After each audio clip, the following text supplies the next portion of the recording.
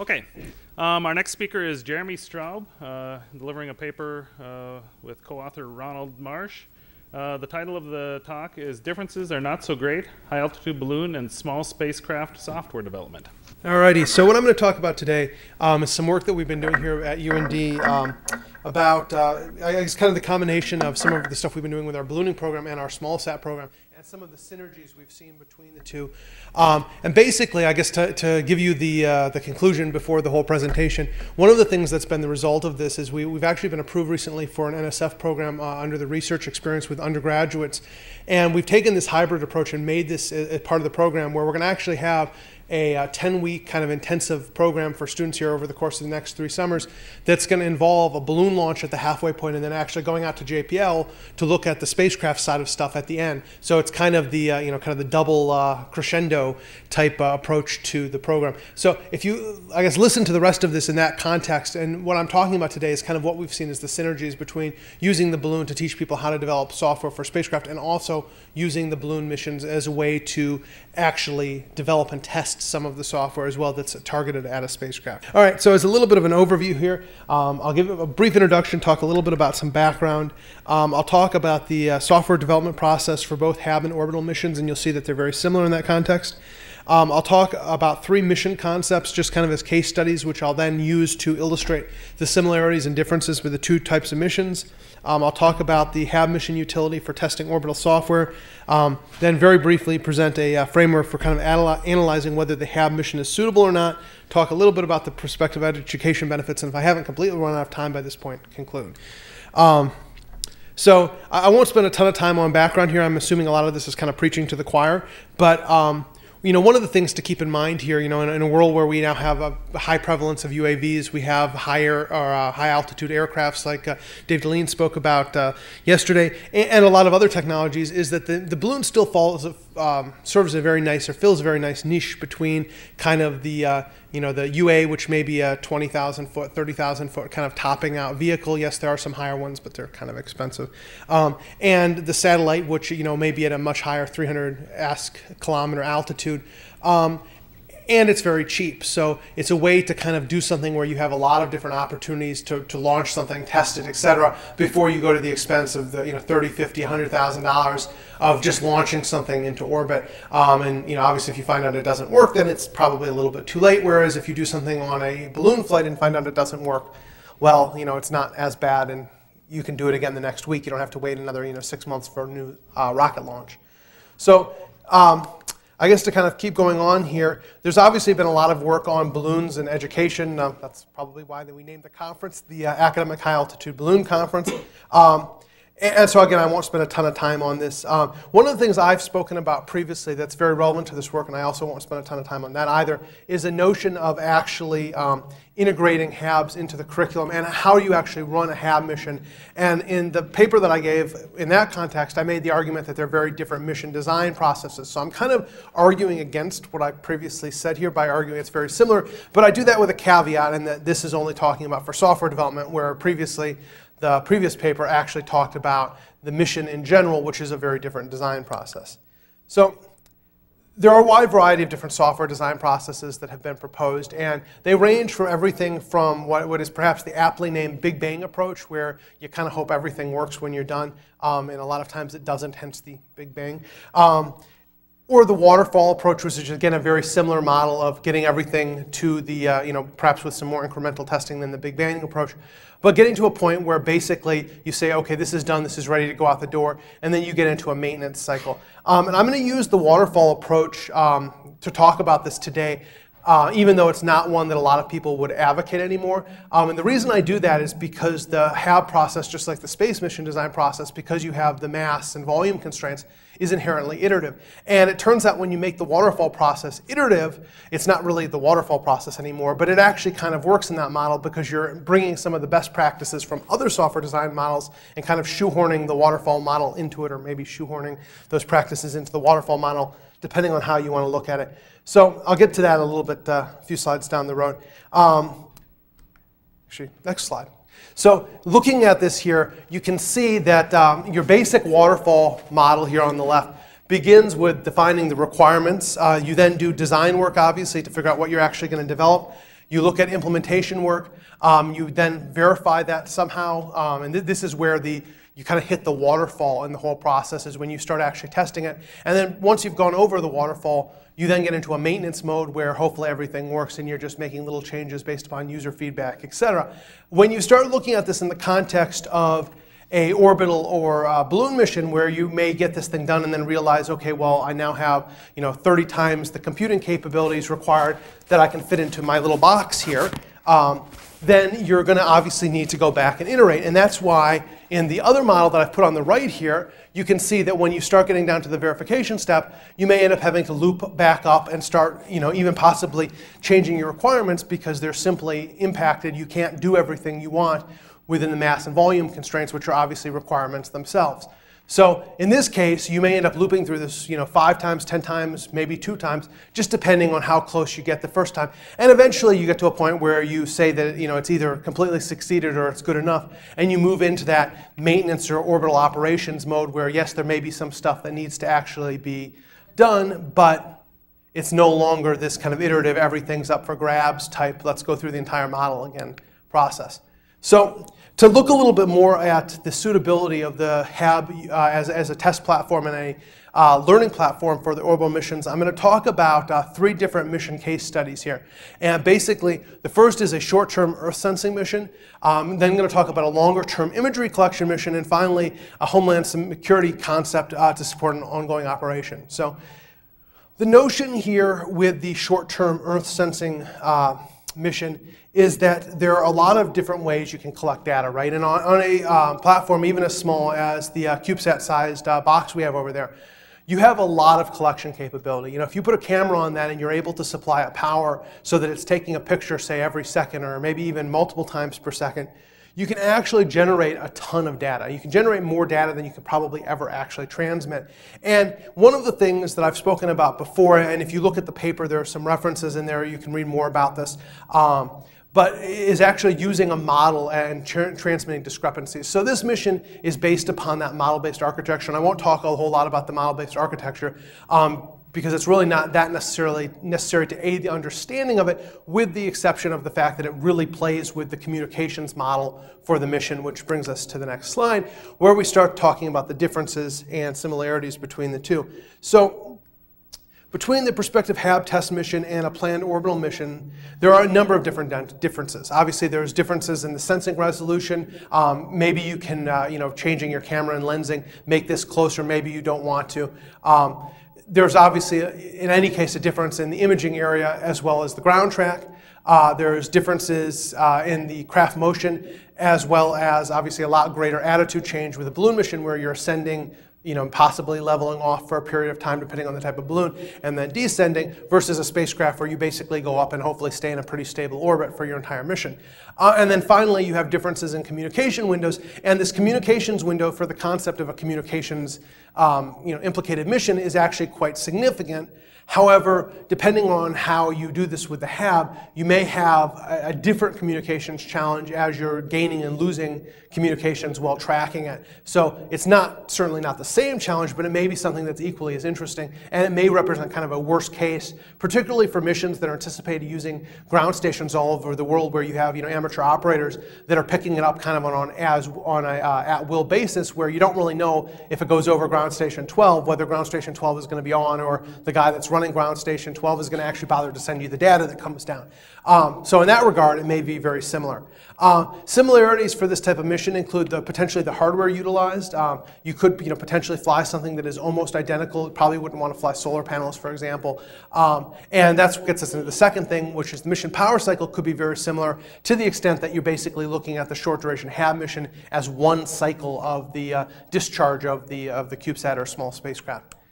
Um, looking then at a long-term uh, digital imagery collection mission, um, and this, this can, uh, case study is basically based on what Planet Labs has proposed, or a single uh, um, spacecraft or um, balloon payload that would be part of the uh, Planet Labs constellation. And basically what they're trying to do is have a constellation of 28 small spacecraft, uh, probably more in the long term, to actually collect imagery of the whole Earth. Um, and they say that it's going to be, quote, unmatched in its uh, breadth and freshness. And the notion here is obviously if you're going to put this type of constellation up, uh, particularly if you need to kind of launch them all at once or on some coordinated missions to actually get the, uh, you know, the orbits that you want and the coordination between the, uh, the orbits so that you have the constellation design that you want. Being able to test this a few times on a HAB before you actually start deploying spacecraft into orbit, that then it's very difficult to match for the rest of your constellation would be very valuable. Um, then again, looking at the differences here, we obviously have, again, our difference in optical resolution and imaging area, uh, the difference in the spacecraft versus the HAB ground track, and the differences in the communications windows. Um, so it's very similar in that regard. Uh, the hardware utilized could be very similar. Um, obviously, the Planet Lab spacecraft are more expensive than what you might be looking at as your typical CubeSat, making it a much higher risk of loss as a balloon payload. So it may be that you want to look at something that's more of a software test platform that doesn't necessarily have the same exact hardware. Um, and again, the mission power cycle can be very similar, presuming that you're looking at the HAB as just one power discharge cycle of the orbital mission. Um, I guess looking at the, then the third case study here, which is this mission in support of Homeland Security operations. And this one is actually quite interesting because this type of mission has actually been proposed both as a ballooning mission uh, for a tethered balloon as well as as an orbital mission. Um, and then finally, more recently, the uh, Office of Responsive Space is now talking about doing a mission like that as a launch on demand spacecraft mission where you would actually have a ready launch capability that would take the spacecraft up and deploy it to theater hours, perhaps after it was requested. And this is what's driving a lot of these very small launch technologies, uh, such as the work that Interorbital Systems, uh, Garvey spacecraft, and others are actually doing right now, is being able to try to make this basically launch to orbit as needed and, and to orbit that's designed for particular theater of operations. Um, so in this case, again, you have something where you're going to want to test it a lot. For something that's you know mission critical like this, you're probably not going to only do you know similar testing like you might with a HAB. You're eventually going to want to do some orbital testing because at the end of the day, this may be put in a situation where you know the balance of a war or you know human lives are depending on this thing actually working the way it's supposed to. So that probably merits a much higher level of testing than simulated testing. But it's a very good way to kind of build up that confidence in the mission and. Um, you know, the notion here is that this system, even if it is launched on demand, is still going to operate for an extended period of time. It's not being launched for you know, a single mission, a single measurement, et cetera. So in this case, you also need to test the longevity of the, space, of the software on the spacecraft as well. And this is where it gets a bit tricky when you're talking about a constrained length mission. How do you actually show that the software works over an extended period of time? Um, and so getting back into our, our di uh, differences and similarities here, we've moved one more thing up into the differences category. We obviously still have our optical resolution, ground track, communications, um, as well. Now we, we also have our power utilization as another difference because obviously for a longer duration mission, for a mission that has to actually work kind of on demand, the power management becomes much more interesting and something that needs to be touched, tested uh, much more thoroughly. We also have a very significant difference in the length of operations without being able to actually restart the thing.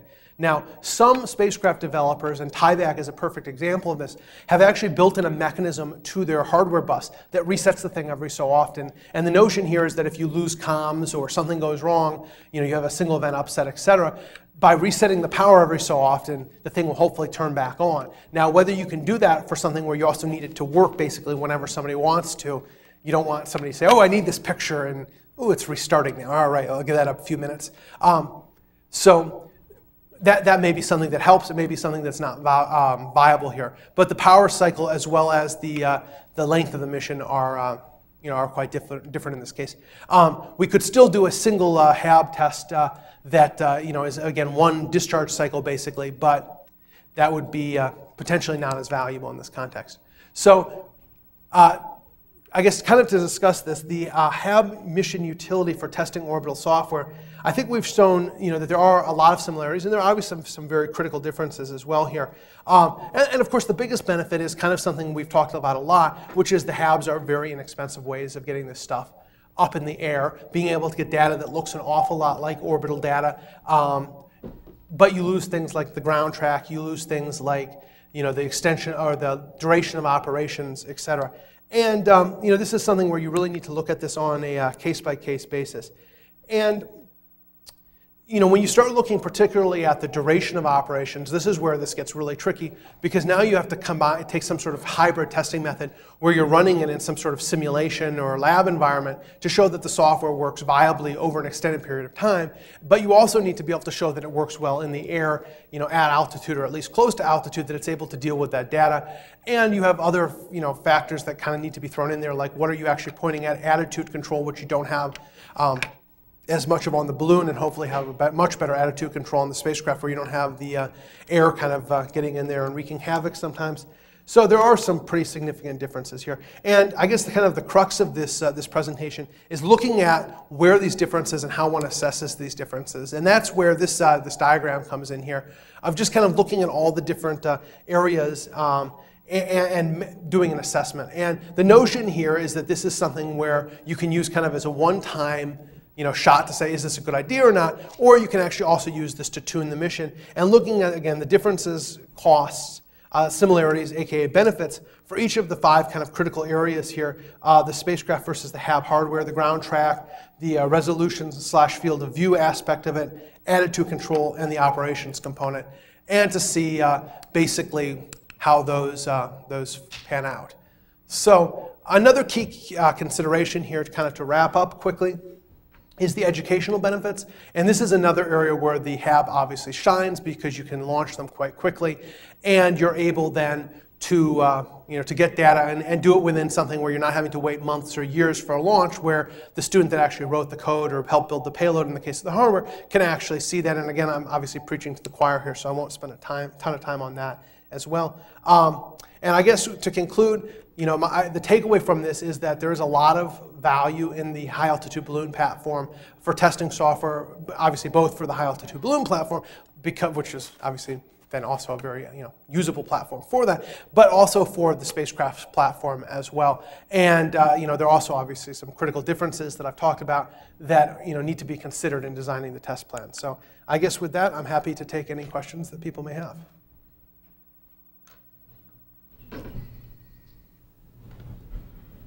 Alrighty. Oh, sorry. Can you comment? You talked about the design process, but obviously you're going to want to reuse the software quite a bit. And to get into the maintenance phase, I mean, I know you're going to have different hardware every mission, but how would you reuse the previous software? Have you thought about that in your design? So, I mean, there, there are a few different aspects to that. I mean, the first is that hopefully you're building kind of a legacy by doing this and that the software that you're using for the balloon test missions can become at least a, you know, a close replica or uh, I guess perhaps in an order of operations perspective here, the software on the, the spacecraft can be a close replica of this so that you're able to take advantage of the heritage and the legacy of actually testing the software on the balloon. And you know, whether you're doing a series of balloon missions and then you know, making changes to the software to support each mission or you're able to use the software multiple times to collect data you know, for a scientific or other purpose, and then be able to say, okay, well, I've tried this 50 times now, and you know, around try 10, 12, 15, whatever, I got to the point where it just worked and it did my mission, and now I can focus on the science and not have to keep playing with the software. And obviously, there's going to be some changes, tweaks, et cetera, to the software to support the spacecraft, and you know, depending on what level of software you're talking about, if it's also interacting directly with the hardware, if it's not just mission management software, then you're obviously going to have some changes to make to support the hardware differences between the two payloads uh, or the payload and the spacecraft, if that's the case as well. But the idea is to keep the software as similar as possible and to really only do you know, request or necessity driven changes so that you're building up this, this legacy and this, uh, this history of the software working and you know, also in trying to sell the orbital mission and going through the, you know, the TRL process or the uh, you know, validation process with your launch provider, um, having that capability to say, you know, this has actually been shown to work in all these different scenarios is something that can help them feel more comfortable that they're not launching something that's going to turn on halfway through the launch and you know, start deploying random stuff out of the spacecraft into little parts of their rocket that they don't want it in. So that legacy is definitely a good thing. Yep. So what about sharing between different groups? Um, you know, because if every group has to develop their own software, they're going to have different data formats and all this different stuff. So has there been any interaction with sh sharing between different groups? There, there has and there hasn't. Um, right now, particularly in the small spacecraft space, there are a lot of different people that are making at least from a commercial perspective, very proprietary systems. Um, and these systems are, you know, the software is designed to work on their hardware. They've spent the money to develop it, so they don't really want it to be something that others can take and, you know, basically leapfrog them. Um, one of the things we're working on here is actually a framework uh, for developing a very low cost CubeSat. And in that context, the software we make is something that anybody, they can use it with our design, they can use it with somebody else's design. You know, they can retool it and use it to fly on a UAV if they want to. You know, it's out there, it's going to be completely open source. And our hope is that that will be something that is able to be reused in that way. And there's also a process right now in the small satellite community of trying to discuss what standards we should adopt, because in a way it's kind of very much the wild, wild west. You know, there are lots of standards out there. You know, from a communications perspective, for example, CCSDS is a standard that has been widely used, and yet every time you look at a CubeSat mission, it seems like somebody has figured out yet another way to either implement it partially non-implemented or to take some combination of it. And you know, some people are now using uh, APRS but they've decided to use like the transport layer of CCSDS. I mean, there's so many different kind of permutations of this that it makes it, like you mentioned, very difficult for interop. And you know, that's something that probably needs to be, if not fixed, because I mean, you're always going to have some variation, at least making it easier for people to get in. And certainly, you know, if people want to track and have be able to use the collaborative networks, they need to be using systems and standards that those collaborative networks support but that still doesn't drive it to the same level where you're getting to you know necessarily software having to be the same just a communications format maybe a data format as well and even getting on that to that a lot of people are using the high level or the low level transport pro, uh, protocol and getting a high level compatibility and then sending down their own data in a proprietary format so you have the ham operator who gets this packet and is all excited that they're going to get to look at a pretty image or something and then realizes that they have to send it in and wait two weeks for somebody to look at it decode it, and then send it back to them because the, the actual spacecraft developer didn't make an interoperable format or didn't make their format publicly available, et cetera. That, I guess, any additional questions, or have I completely run out of time here?